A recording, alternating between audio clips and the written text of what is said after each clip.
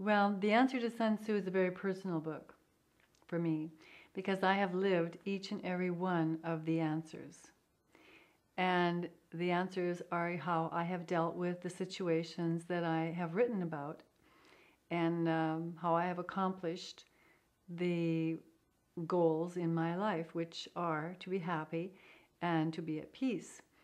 And I think that we live in a, in a time where people war with each other. It's cr- criticism, condemnation, judgment, gossip, anger.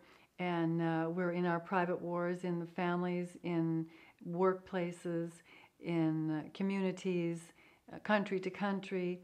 And um, so it's very important to stop that war. I had a little war with a um, man that I was dating, the very first The Answer to Sun Tzu was written as a result, and it was faxed to him. And he knew he was in trouble. And uh, from that moment on, I started writing more of the answers. And since I am a poetess, I have um, a delight actually in writing the poetry of the answer to Sun Tzu. I chose Sun Tzu because of the fact that he um, was an interesting character to me in history.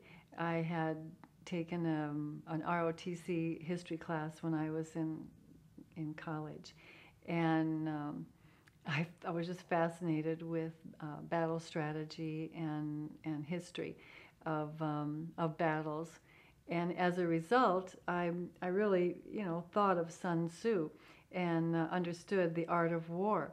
So when um, when I was at war with the man I was dating, it seemed that I should be talking to Sun Tzu to uh, to set the record straight, and that's how it started.